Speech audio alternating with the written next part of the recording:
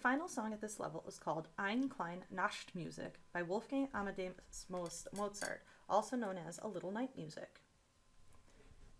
We'll see that we have 16th notes in here and play, pay very close attention to the different um, articulation markings. We have these tiny dots, which means staccato, which means to play the notes short and separated, and then we have slurs as well. Remember on a slur, you don't tongue anything other than the first note of the slur.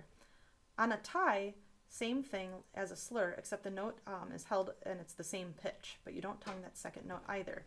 We also see some eighth rests in here, which kind of look like a little number seven. On those, I'd suggest taking a quick breath or a quick pause. They are half a beat long.